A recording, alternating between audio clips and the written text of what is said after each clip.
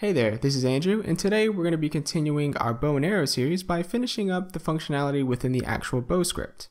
In the last video, we set up our input as well as wrote a lot of the variables and some of the functions that we're going to need within the bow. But hopefully, if we work quick enough, we'll be able to finish it within this video. So let's go ahead and let's get started. And here we are within the bow script, where we're going to need to create an update function. We have to fill out our pull and our release.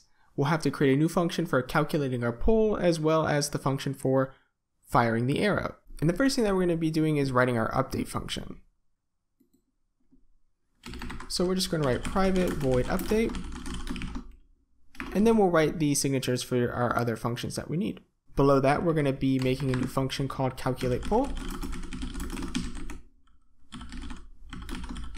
where we're going to be passing in a transform that we're going to be calling pull hand.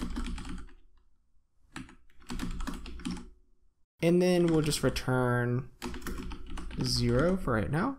And then at the very bottom, we're going to create another function that we're just going to be calling fire arrow. Well, not just arrow, fire. There we go. And that function is actually going to be pretty simple. A lot of that functionality is going to be in the arrow itself, but we need something to sort of set our current arrow to null once we fire it. So we can scroll down here and let's focus on our update. And the first thing that we're going to be having is an if statement, where we're going to be checking to see if we have a pulling hand and if we have an arrow. So we're going to write if, we'll do a null check for pulling hand, or im current arrow. Meaning if we don't have a pulling hand or a current arrow, then we're going to want to return and not execute any functionality below this. And the pulling hand is something we're going to be setting up in our pull function, and it's basically going to be the hand that's going to be close to the notch when the trigger is pulled, and how we'll be calculating how far back the user is pulling the bow. And you'll see a little bit more of that when we actually get into the pull function. And then current arrow is basically saying, hey, don't update this if we are in between arrows. Since we have our create arrow on a wait time, if we've just fired one and we need to wait a half a second, we don't need to calculate anything below this or set our animator, which we'll be doing an update as well. And then the next two things we need to do is set our pull value. And that's going to be set by calling calculate pull and passing in our pulling hand. And if you remember in the last video, we are using a blend tree set to direct for setting up our, for basically setting the position of the string. So what we're going to need to do with this pull value is make sure that it's a value between 0 and 1 so it works well within our blend tree. So we just need to clamp it. And you could probably get away with not doing this, but it's just kind of to be safe. Just do a clamp. We'll put our pull value. We'll put 0, and then we'll put 1. There we go. And then once we have that pull value, we want to set our animator and be set float. And if you remember that parameter in there is called blend. And we're just passing in that zero to one value. There we go. And that's actually everything for our update. But below this, calculate pull is going to be doing a lot of work. So let's scroll down to that.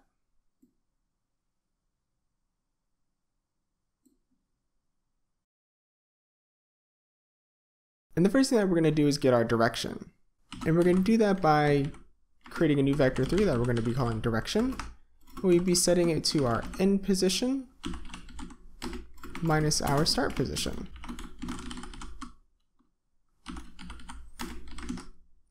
And if you remember, these are the two transforms we have childed to our bow, so we can calculate um, where our hand is between these two points. And then we want to get the magnitude of that. So we'll do float magnitude. So we'll just get that vector and get its magnitude. And we'll be storing this because we will be using it again down below. And then we're going to get that direction and we're going to normalize it. So it'll be a value between 0 and 1. Not normalized.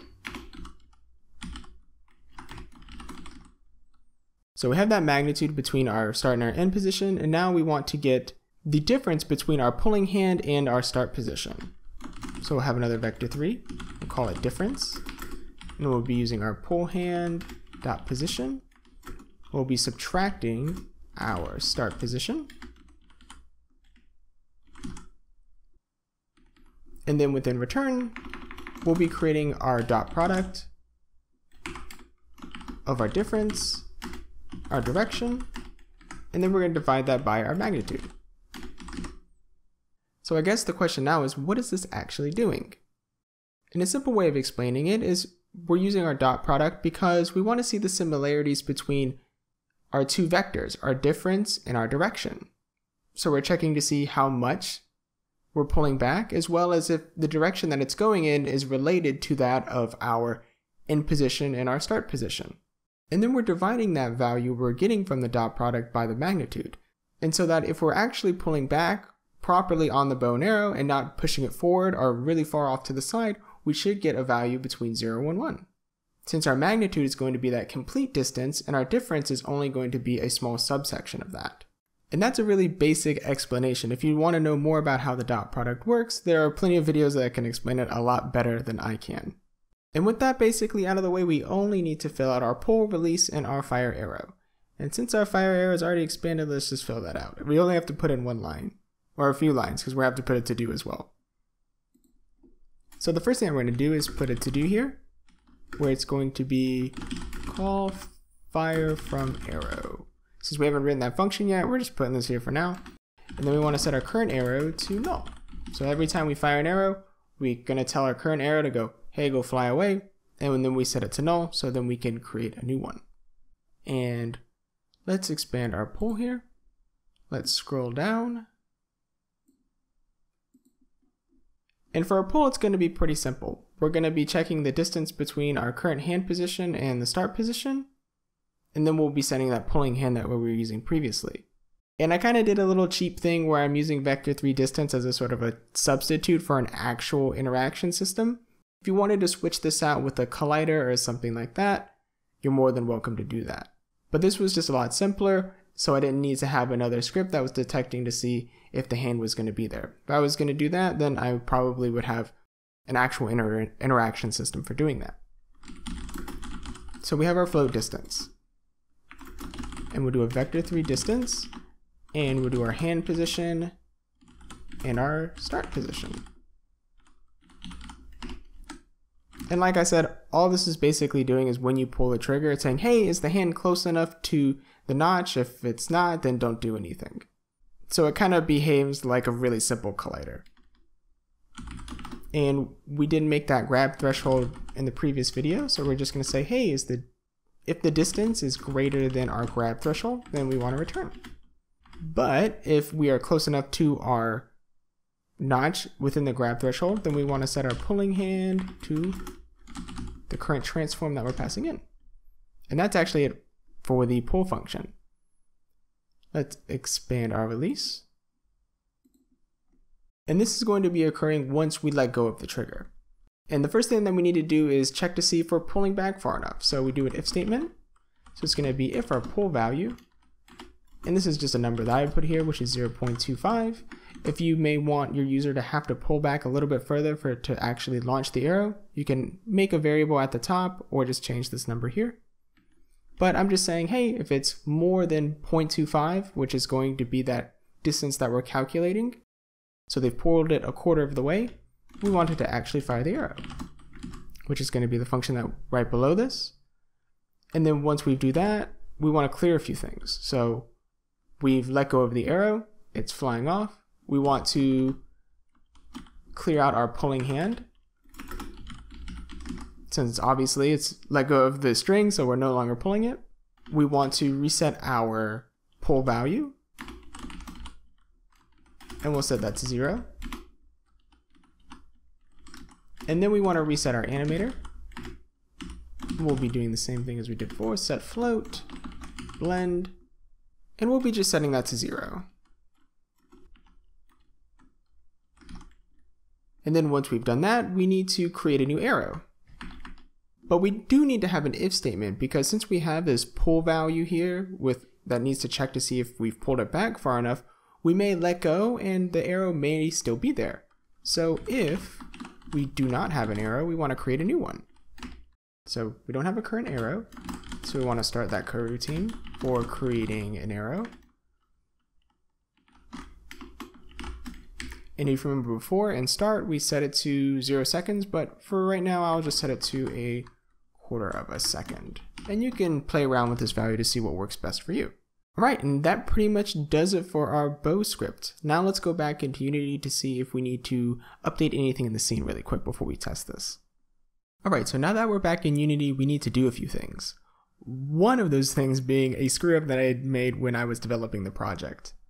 And if we go to our bow here and we expand it, and then we expand our bow base and go to our socket, this should actually be named Notch. For some reason when I was developing this, I thought this was just some empty game object, but it's actually part of the rigging, and since I renamed it, it basically broke the rig. I don't know how this got into the template project, but oh well. So what we're gonna have to do to get this to work is rename it to Notch. And I think it's a change that I forgot to apply to the prefab, because if we go to our bow and arrow folder, we go to our meshes, and go to our static mesh bow and just drag one of those into the scene and we expand this really quick, we'll see that it's named Notch. So we just need to make sure that these two names are the same. And then we can delete that. And then we also need to child our bow to our controller. So if we go to our camera rig, we'll expand that, expand our tracking space. And since I'm right-handed, I'm going to be childing it to our left hand anchor. If you are left-handed, you may need to switch this, just keep that in mind just make sure you have the right opposite hand set up within the bow. So I'm going to collapse the bow, click and drag that onto there. Then you just want to make sure that the position is all zeroed out. And there we go. And what I'll also do while we're in here is we can unpack this prefab just so we're not applying any changes to the original prefab. And that's pretty much it. I'm going to go ahead and build this out to my Oculus Quest to see if it works and it seems to be working pretty well. I don't have any representation for the hands at this point, but if you put your hands close together and pull the trigger, the drawstring should follow the hand. And if we let go, everything should reset pretty well. But notice no matter how far you pull the string back, we can't fire the arrow because we haven't written that functionality yet. And we'll be doing that in the next video. And it's a pretty simple script, so we should be able to get it all done pretty quick. And I think that about does it for this video. If you have any questions, feel free to leave them below, and I'll see you in the next one. But before I go officially, I'd like to give a quick shout out to all of my patrons. Well, it's actually, the list is getting pretty long, so it's going to be not a quick, but, you know, kind of an average length. But I'd first like to thank Eric's Patrix, Sylvain Ati, Augusto Marquette, Pierre Franson, Adrian Soto, and David Fufu. I'd also like to thank Evan Buxton, Shane Nielsen, Keith Bradner, Darren Swords, Omar Vera, Zach Ellis, and Frederick H. Thank you for all your support. I really honestly appreciate it. I probably couldn't do this without you. Now the video is really over. I'll see you all in the next one.